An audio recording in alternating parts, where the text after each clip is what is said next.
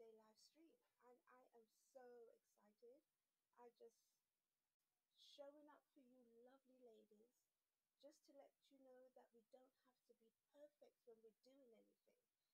We just need to make sure that we get the job done and then it will grow. We'll get better, I'm told, as we go along. And I'm experiencing that because as nervous as I am,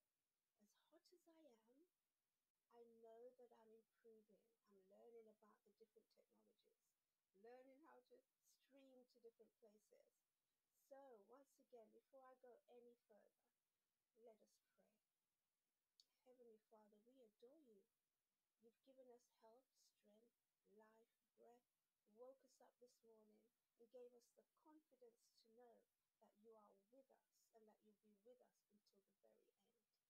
And so, Father, as I enter into this space of a live broadcast, my place in history. I'm making a record of something that my children and maybe grandchildren and children, even this message, as I look to you and tell you thanks in Jesus' name. And I'm sure my lovely ladies will say amen and amen. So, as you know, I'm really keen on personal identity because it sets the foundation for us to build and create wealth, to be prosperous. It's all about knowing who you are first before you can fulfill what you've come here to fulfill. You need to know what you're capable of, who you are. You know, we know the identity of a dog. A dog is a dog.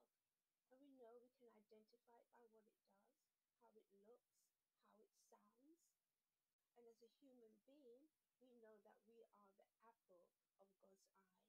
You know, the question was asked, What is man that thou art mindful of him? Or the Son of Man that thou visitest him?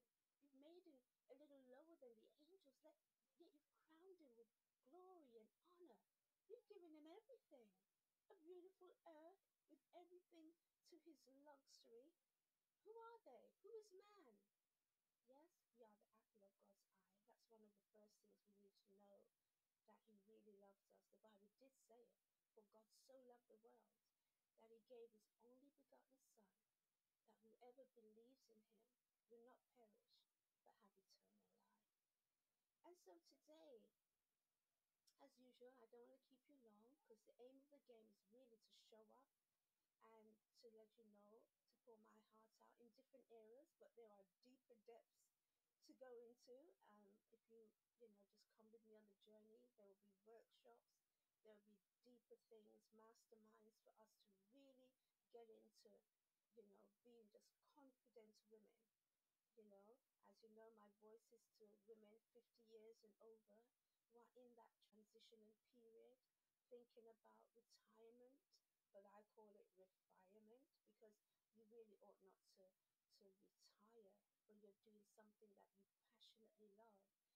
And if you're giving your heart and soul to a workplace and not fully satisfied, and then you leave and say you retire and you don't have the funds to do what you really want to do, or the strength, or the health to do what you really want to do, then it seems as if it was all in vain but I know that I'm talking a group of women who have vision, who have mission, and know that they're going somewhere.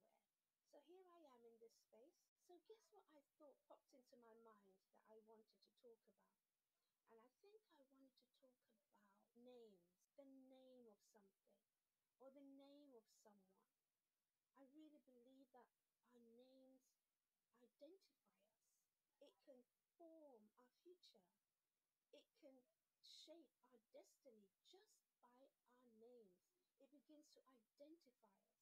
So I really want to just talk a little bit about what names are and, and how significant they are. I'll go first by saying that my name is Barbara Angela, and I did look it up. And Barbara actually means um, foreigner, a stranger to Rome, and Angela means a messenger of God, an angel. See where the vocal angel comes from? It was that intentional, but yes, my name is Angela, my middle name. So it's Barbara Angela. So a stranger to Rome, a foreigner to Rome, and also um, messenger of God.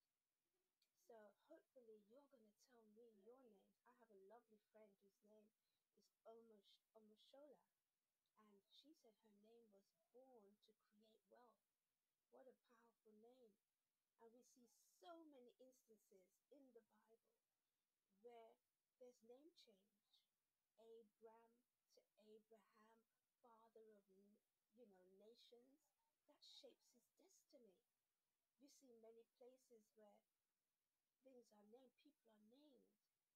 Jacob, his name was changed to Israel when he fought with the angel, being an overcomer. Your name can shape who you are. One of the most lovely examples that I like to think of is um, Venus and Serena Williams' father, Richard Williams.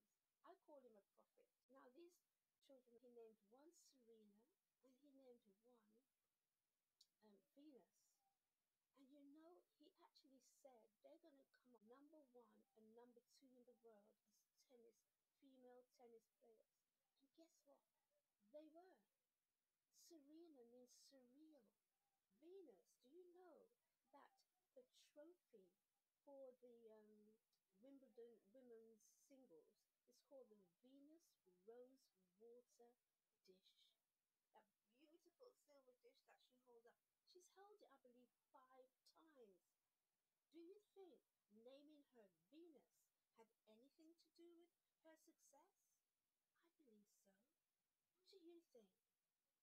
I hope you're going to share some examples with me of so many instances where your name has shaped your destiny. And so I want us to really just think how important names are. There was a person, I think his name was Malcolm X. He changed his surname to an X. What was he doing? He was rejecting the attachment of slavery to his name. Because a lot of our names, especially those of us from the Caribbean, our names are attached to the the place where we were the, the slave place where we were raised by our masters. The aim of the game is to talk about our personal identity, shaping our destiny. The Bible says at the end, when we overcome, He's going to put a name on our forehead that only we would know. It will definitely say our character and how we overcame. It's for the overcomers. We're going to have a new name. God loves to change names and give us names. Amazing. How are you feeling about that? Are you feeling special? Those of us who are naming our children, do you remember had an experience. I want an son. So what I want to say about his name was, I was so excited. I actually opened my mouth and I said, God's gonna name my son. So I kept listening out for my son. You know, I remember once my my husband, my ex-husband, turned in the bed and I heard him say the name Michael. I thought, Michael, is that the name of my son? Anyway, I was discussing it with this lovely lady that was coming to our church. And she said to me, she says, when you hear the name, you will know. I didn't remember she said it. And I remember when I was very heavily pregnant now, and I was with my brother, and we were talking about names. And then my we were just discussing names, and then I heard my brother say, "Ah, uh, if I have children, I'm going to have twins, and I'm going to call one Cain and one Abel. That's my son's name.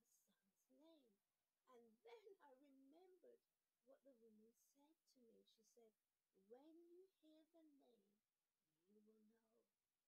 And so my son's called Abel. And so names can be exciting. I believe it will shape his destiny. I have other examples of, of names. Um, another one is my daughter she was pregnant, but she came to me and she said, Mom, I've got the name of my, my, my child, and it's a girl. She's called Kavana. And she said to me, It's a Bible name. I said, Kavana, a Bible name? I know my Bible quite well, and I don't know that. I said, That's not a Bible name. So I looked it up, it's actually a Hebrew term that means to pray with intensity, to pray with meaning, to pray with understanding. So I think the Jewish term, when you talk about Kavana, you say you pray with Kavana, and that's her name. So that's me for now, talking about names, and our identity and how it can shape our destiny, you know, and God's going to give us a new name. And remember to share your name, yes, and what it means and how it has helped you to overcome. Until tomorrow, be blessed.